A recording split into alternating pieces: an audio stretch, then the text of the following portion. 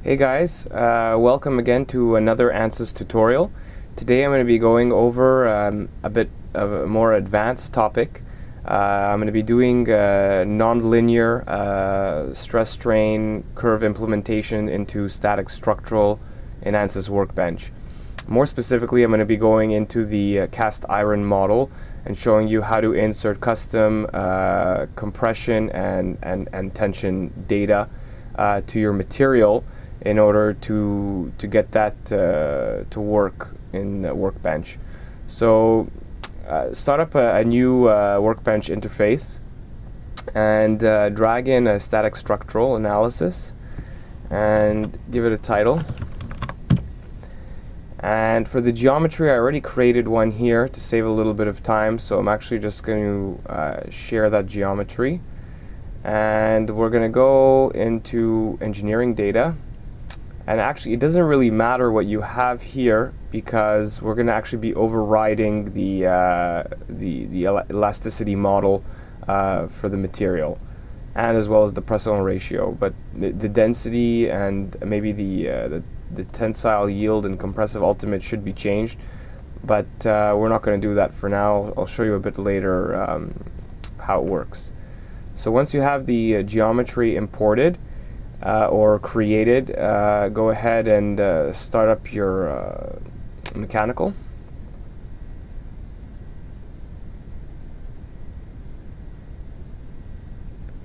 So wait for that to load. It's going to attach the geometry and there we go. So that's like, it's really a simple model. I, I, I made something really quick. I mean, this could be applied to, to anything, but it's just for uh, illustration purposes. So the uh, the first thing that you're going to want to do is um, go in head into the geometry tab. And for every solid body I mean if you have multiple bodies you'd have to do this for each one. But uh, you would go ahead here in, into your solid and you would insert and hit commands and uh, and actually make sure when you insert the commands that you're uh, in the correct units. So for this uh, tutorial, I'm actually going to be doing it in U.S. Uh, customary, so inches, pound, Fahrenheit. So make sure you have that selected. And when you insert a command object, it actually says warning that uh, the units for this uh, command object is in customary. But there's actually a way in case let's say you, you made a mistake and you know you you actually didn't put uh, the the right units or you sorry you don't have the right unit settings here you can always actually go in into um, into sorry the uh, advanced geometry where is it? Analysis. And if you can go into data management and the solver units you can actually put that you can see that currently it's to set to bin so you can actually put manual and put bin. So that way, in case you forget to change the units, the solver will automatically uh, use the inches, pound, uh, meter units in, in case you forgot, in, in, case you left it in metric or something. So here we're going to open the commands, and here's where actually you enter the custom uh, uh table data. So I have an example here. This is an example of a cast iron curve. It's uh, this is a class 30 actually, uh, 35, so 35 uh, KSI in tension, and compression has 75. So this is just actually to show you, but uh, my example is actually a class uh, 25 that I'm using. So basically, if you have like a sample uh, or if you have your own stress strain data, um, you could just take a few points in Excel which is what I did here, and plot them plot them out. So for this is inches per inches, and this is in psi. So those are the units, and you can plot out your tension data and your compression, uh, sorry, compression curve and tension curve. Um, so once you've done that, uh, you want to actually make sure that the first two uh, points, actual points, because the zero, you're not going to enter them in the table, but you want to make sure that your actual first two points, which is the linear region over here, uh, are similar, or else ANSYS uh, won't really compute them. uh, won't be able to compute the uh, the the solution. So as you can see here, I have a uh, both both slopes are exactly the same for the uh, for the elastic region. So we're okay. Um, next, uh, I'm to basically, I already have the snippet of code. This actually, you can get it uh, from the ANSYS uh, manual, or I can post it below uh, if you guys need to. Just actually just leave a comment if you guys need this. Um, so I'm to basically copy this and paste it, and I'm just to go over quickly about what it does. It's basically a command object. Um, you're inserting uh, preprocessor information. Uh, EX is the so it's the Young's modulus in PSI. So that's the the one that we calculated here, 130, and uh, so that's going to be for the for the linear region. Um, NUXY is the Poisson ratio, so we're going to have it at 0.3. Here we defined that we're going to be using the cast uh, iron model, which lets you have two tables for tension and compression. Uh, here 0.04, that's actually the plastic Poisson's ratio.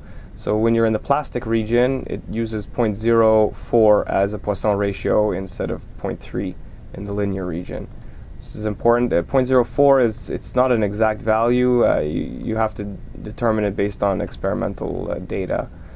Um, so here we have the uh, tension data. So all you really need to know is that we're uniaxial tension and 5 is basically the number of uh, data, uh, data points that we're entering. So we have 5 for tension and 5 for compression. Uh, the 0.001 here is uh, once again the first data point uh, that you need to enter for uh, the strain and this is comma the stress. So strain, stress, strain, stress and you can leave all the rest the same as I have here. So as you can see in our example, we basically have the same data, 0.001 and 1300. So that's how we set up the, uh, the command object.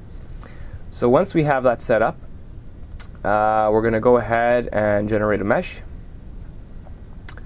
And I'm actually going to uh, refine the corners just to get a bit better detail. So there we go.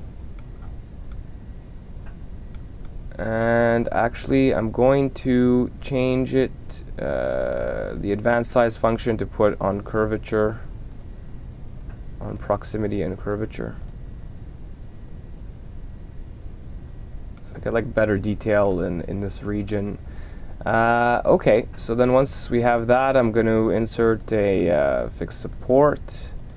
And I'm going to insert a force and I'm going to put that force in components and I'm going to put a value minus 2,000 pounds per foot.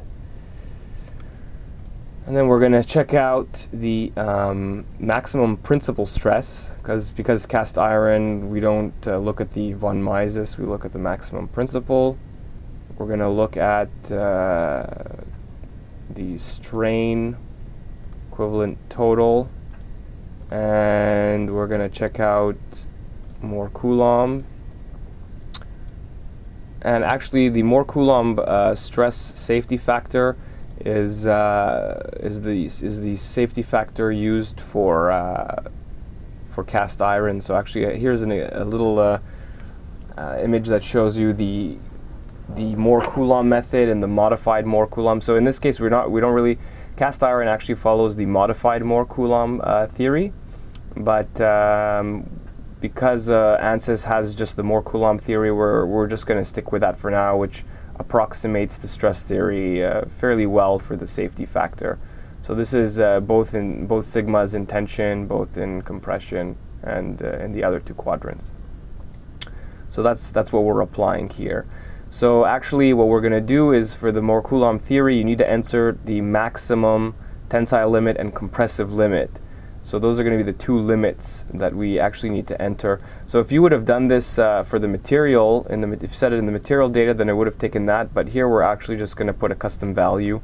So the tensile limit, we're going to put uh, 25 KSI, and the compressive limit, we're going to put 50,000, uh, sorry, 50 KSI. That's for the stress. So we're just going to go ahead and hit solve and uh, get some results.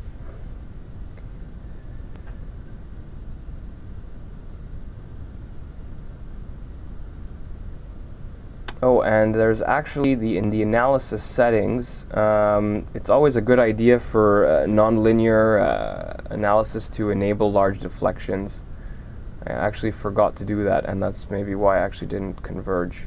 So, sorry, go into analysis settings, large deflections on, and we're actually going to change the auto time stepping to sub steps. We're going to put initial 8 and maximum, say, 25.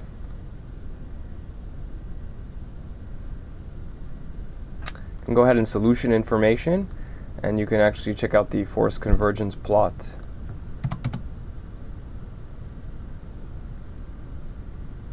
So, so, so far I calculated uh, 0.25 seconds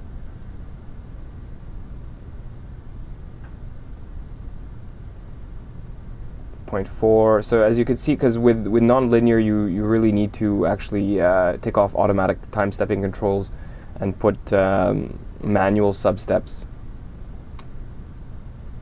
Or else sometimes uh, you, you don't get convergence. So here, still, still going, 0.9, it's almost done. And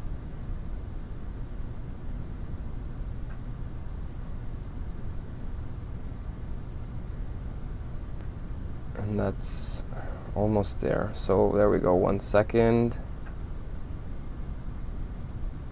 That's the last sub-step.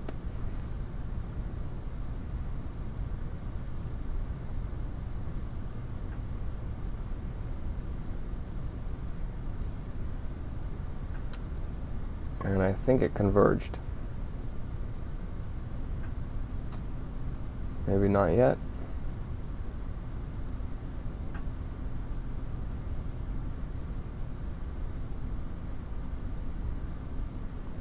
Okay, there we go. Done. Okay, so um, so there we have it. So there's the maximum principal stress. So as you can see, we, we hit the limit. Like we, we reached our, our 25, which was what we set for uh, total deformation of 0.8%. So we hit 25. We can go ahead and probe. We would see it's almost near. So I think we, we were over. So the force that I applied actually surpass. Uh, you can almost see that it maybe even surpassed uh, 25. So this this here would would, would crack right away. Um, so that's for the maximum principal stress results. The total equivalent strain actually needs to be corrected for uh, the cast iron model um, because of the uh, plastic Poisson ratio. Uh, the total strain calculated by ANSYS uses uh, 0.3 and um, for cast iron you actually need to insert a custom user-defined result for that. So I'm just going to go ahead here and uh, this is actually the calculation for the total strain except for the only difference is instead of 0.3 here I'm using 0.04. So we're going to go ahead and evaluate that. So there we have it. It's 0.027 inches per inches. So that's well above our uh, our limit of uh, 0.008, and that's because we we completely surpassed the uh, the uh, deformation uh, of the material at this region. However, the limit, however, ANSYS just keeps uh, the same stress because it, it, just it just plateaus basically at 25. So it doesn't it doesn't continue higher. It, uh, as you increase the deformation, it just stays at uh, at that at that stress value. So that's why it's important to actually check out the uh, the deformation results versus the stress results if you're at the limit. So the last thing was the safety factor. So here uh, we're applying the Mohr-Coulomb method.